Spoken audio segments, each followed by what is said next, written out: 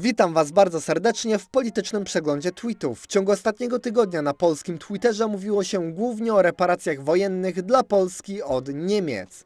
Prezes PiS Jarosław Kaczyński.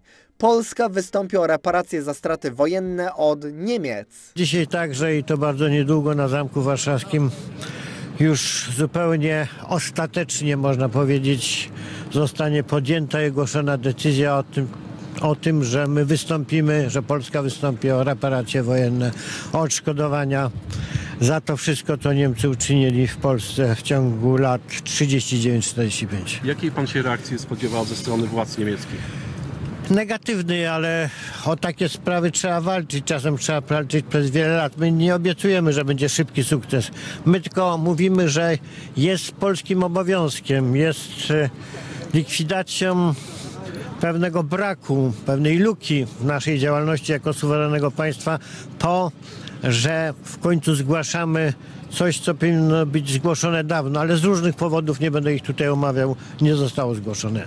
Ale ta decyzja już, można powiedzieć, zapadła i dzisiaj zostanie ogłoszona, więc to jest rocznica, której coś ważnego, bardzo ważnego dla Polski, dla Polaków się stanie. Suma strat Polski spowodowanych przez Niemcy to 6 bilionów 220 miliardów 609 milionów złotych. O reparacjach wojennych od Niemiec dla Polski słyszymy już od dłuższego czasu. W końcu padła konkretna kwota tych reparacji, ale niestety rząd nie określił się, kiedy dokładnie o te reparacje wojenne od Niemiec wystąpi i ile czasu może potrwać cały proces. Mam wrażenie, że Polacy chcieli usłyszeć nie tylko to, jakie szkody poniósł nasz kraj w wyniku II wojny światowej i jak można je na dziś oszacować. Przede wszystkim kiedy, na podstawie jakich dokumentów i w jakim trybie prawa międzynarodowego domagać się będziemy zapłaty reparacji od Niemiec. Czy ktokolwiek usłyszał w którymkolwiek z dzisiejszych wystąpień posła Mularczyka lub innych oficjeli z PiS, kiedy polskie władze wystąpią do władz niemieckich o reparacje wojenne, może być przybliżony termin. Odpowiedź ze strony Niemiec była praktycznie natychmiastowa i chyba nikt nie jest zaskoczony, że ton tej odpowiedzi jest raczej negatywny. Niemiecka prasa o reparacjach. Moralnie wątpliwe. Niemieckie MSZ. Sprawa reparacji dla Polski jest zamknięta. Sprawa reparacji została zakończona, poinformował rzecznik niemieckiego MSZ. Dodał, że Polska zrzekła się reparacji w 1953 roku. Niemcy ponoszą odpowiedzialność polityczną i moralną za II wojnę światową, podkreślił. Bild w związku z polskimi roszczeniami reparacyjnymi organizacje wypędzonych mogą zaskarżyć sprzeczne z prawem odebranie Niemcom Śląska, Pomorza i Prus Wschodnich. Od razu uprzedzę, nie ma najmniejszego niebezpieczeństwa, że ktoś może skutecznie zakwestionować przebieg granicy na Odrze i Nysie Łużyckiej w związku z polskimi żądaniami reparacyjnymi. A co mówią politycy opozycji w Polsce? Tutaj chyba również nie ma zaskoczenia. Grzegorz Schetyna w RMFFM. Nie uważam, żeby, żeby przyszły rząd y, złożony z ugrupowań demokratycznych y, wrócił do spraw reparacji, ponieważ to, co dzisiaj robi Komisja Mularczyka i, i Kaczyński jest y, tylko grą dla polityki Ale to bardzo ważna wewnętrznej. deklaracja. Platforma nie będzie domagała się od Niemiec reparacji wojennych. Potrzebujemy odbudowy relacji z Niemcami i wspólnego e,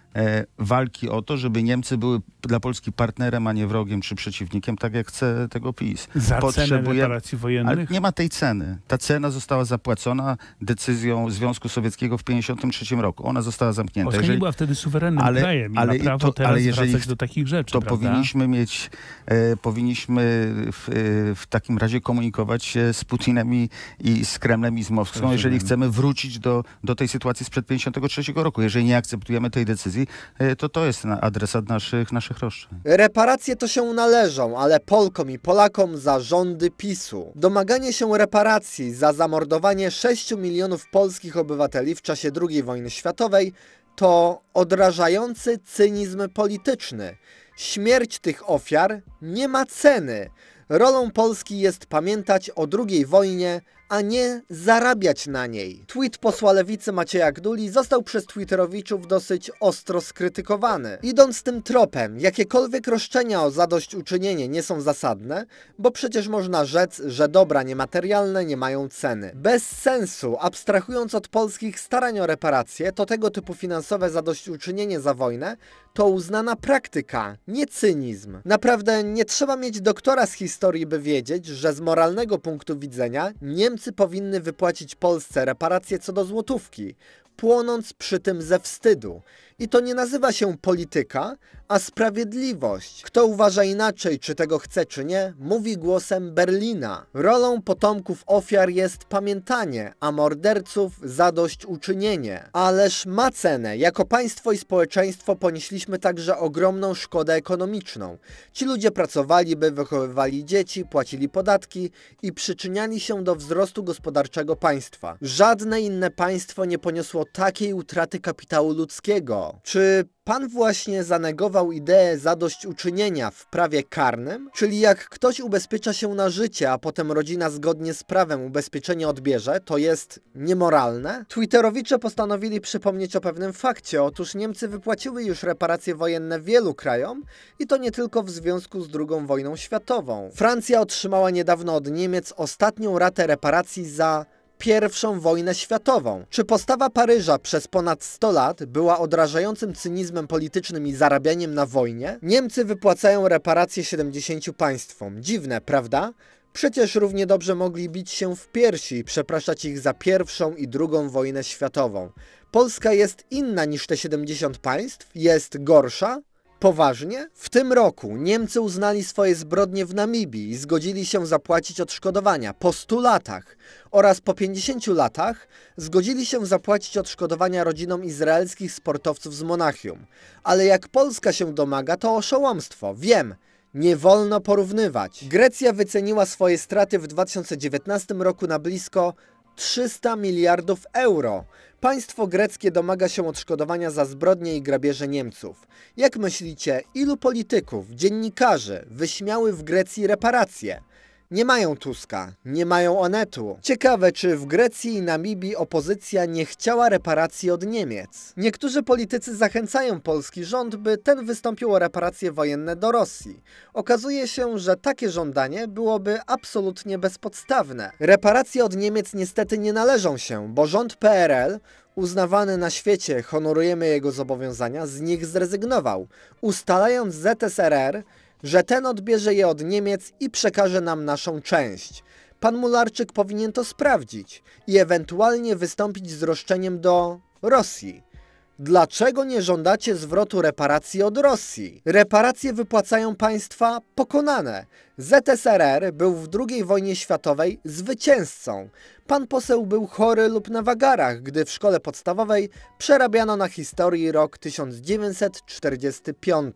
Przy tej okazji warto przypomnieć starą wypowiedź Donalda Tuska w temacie reparacji wojennych od Niemiec dla Polski. Wolta Tuska w sprawie reparacji od Niemiec. Zobacz, jak głosował i co mówił lider PO w 2004 roku. Niemcy chcą wyzbyć się historii że dzisiaj Niemcy, niezależnie od tego, jaką partię polityczną tam reprezentują, chcieliby w dużej mierze napisać jednak tę historię na nowo, a najlepiej o niej zapomnieć. Musimy z całą stanowczością, zawsze wtedy, kiedy, zawsze wtedy, kiedy będzie to potrzebne, dziś, a być może za 10, za 50 lat, będziemy musieli zawsze z całą mocą powtarzać. Niemcy są odpowiedzialne za wszystkie skutki II wojny światowej. Jeśli wśród tych skutków cała odpowiedzialność za skutki materialne II wojny światowej w relacjach polsko-niemieckich spada na Niemcy. Zawsze Niemcy były za nie odpowiedzialne i powinny tę odpowiedzialność dalej realizować. My naprawdę powinniśmy, niezależnie od tego, z jakiej strony sali siedzimy, powinniśmy wspólnie doprowadzić do takiego projektu uchwały, który wyposaży nasz rząd w skuteczne instrumenty dochodzenia sprawiedliwości i historycznej, i finansowej w relacjach polsko-niemieckich. Polska polityka trochę inaczej niż do tej pory, szczególnie w relacjach polsko-niemieckich, wymaga wyjątkowych kompetencji, wyjątkowej solidarności politycznej Polaków i osadzenia w historii inaczej niż chcieli tego trochę naiwni politycy polscy i niemieccy, wówczas kiedy mówili, że historię można odłożyć ad acta. We wszystkich relacjach polsko-niemieckich obowiązkiem Polski, ale także tej nowej Europy, której staliśmy się członkiem, jest nie zapominanie, ale przypominanie historii. Jeśli w rozmowach z politykami niemieckimi coraz częściej słyszę, i Państwo też pewnie to słyszeli, że czas na nowe Niemcy, że czas pokuty niemieckiej się skończył, to chciałbym także, aby przy okazji tej uchwały Polacy głośno powiedzieli, że czas pokuty za takie winy, jakie były udziałem Niemiec w czasie II wojny światowej, że, tak, że czas pokuty w takiej sprawie nigdy się nie kończy. To jest obowiązek Niemców zawsze i że żaden gest nie zamknie tej wiecznej pokuty za to, co stało się w Polsce i w Europie wskutek agresji niemieckiej i wskutek II wojny światowej. Elementarna uczciwość wymaga powiedzenia tego, nazwania tego po imieniu. Spór nie dotyczy tego, czy Polska ma prawa do reparacji, czy nie. Spór, nie dotyczy też tego na tej sali, czy Bierut miał prawo w imieniu Polski zrzekać się reparacji, czy nie. Bo jest to z punktu widzenia i prawnego, i politycznego, i moralnego, historycznego oczywiste. Możemy, i na szczęście także Platforma Obywatelska dysponuje tego typu ekspertyzami, możemy to dzisiaj też wprost nazwać. O kształcie reparacji, zrzeczeniu się reparacji, ograniczeniu zakresu reparacji lub nie, może decydować tylko rząd suwerennej III Rzeczpospolitej. Też co do tego nie będzie sporu. Polski rząd powinien walczyć o reparacje wojenne od Niemiec. Niektórym może się wydawać, że Niemcy i tak nam nie zapłacą, że to bez sensu, ale w mojej opinii warto próbować. Z drugiej strony wielu twitterowiczów wskazało trzy problemy z zapowiedzią prezesa Kaczyńskiego. PiS nie załatwił nam czołgów od Niemiec, choć ci Błaszczakowi je obiecali. A mają nam załatwić reparacje? Tak, już to widzę. Skoro Polska nie potrafi wywalczyć 120 miliardów złotych z unijnego budżetu, nie potrafi dogadać się z Niemcami w sprawie pieniędzy, które nam się należą, to jak chcą wymusić na Niemcach wypłatę ponad 6 bilionów złotych? To oczywiste, że Niemcy jako agresor, a zarazem państwo pokonane, powinny płacić reparacje wojenne. Tylko, że Kaczyński przez lata wyciągając ten postulat, wyłącznie na użytek krajowych kryzysów, uczynił go niestety mało poważnym, a narzędzi nacisku nie ma, bo je przekazał Brukseli. Wrzutka z reparacjami jest genialna. Nikt już nie mówi o KPO. Kaczyński ofiarowuje nam kwotę 13-cyfrową, jak pan Zagłoba królowi szwedzkiemu Niderlandy i osiąga polaryzację na osi patrioci, zdrajcy. Opozycja zgrabnie w to weszła, pokornie grając rolę niemieckich pachołków. Z tych reparacji nic nie będzie, ale w polityce wewnętrznej zadziałało zgodnie z zamierzeniem Jaro, zmuszając PO do fali lizusowskich deklaracji proniemieckich i zaprzeczania oczywistościom. To niesamowite, jak łatwo PiS wciąż robi z tymi nieudacznikami co chce. Reparacje mają odwrócić uwagę od ławek. Ławki miały przykryć inflację. Inflacja przykryła temat traktora. Traktor odwrócił uwagę od Odry.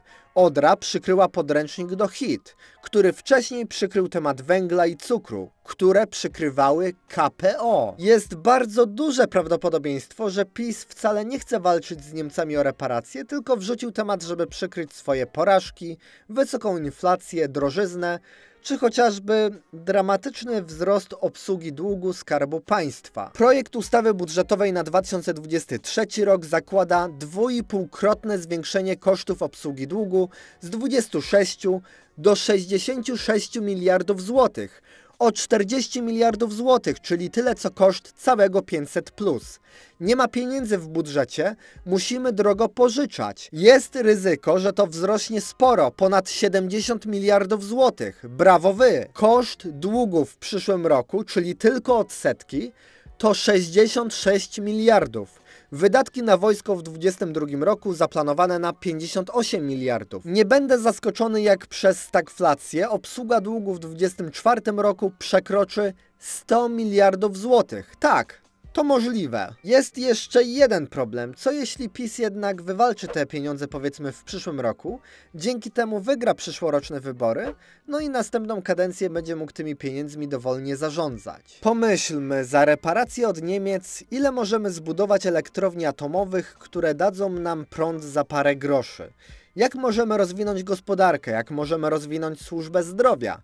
Pieniądze z KPO są małym ziarenkiem w porównaniu z kwotą należną nam z tytułu strat wojennych. To prawda, takie pieniądze z pewnością pomogłyby nam m.in. zreformować służbę zdrowia, zreformować ZUS, odbudować armię, mocno obniżyć podatki, zabezpieczyć nas energetycznie przez budowę elektrowni atomowych. Problem jest jednak w tym, czy takie partie jak PiS, PO Lewica czy nawet Polska 2050, mając do dyspozycji ponad 6 bilionów złotych, właśnie w taki sposób wykorzystałyby te pieniądze. Ja co do tego mam dosyć duże wątpliwości. Na koniec przedstawiam trzy najciekawsze tweety pana Janusza Piechocińskiego. Lamborghini sprzedało już wszystkie auta do 2024 roku. Najpopularniejszym warzywem w sierpniu były pomidory, których konsumpcję deklaruje 96% Polaków. Rekordowe opóźnienia pociągów PKP Intercity. I to wszystko, co na dzisiaj dla Was przygotowałem. Dajcie lajka, subskrybujcie, udostępniajcie na Facebooku i do zobaczenia wkrótce.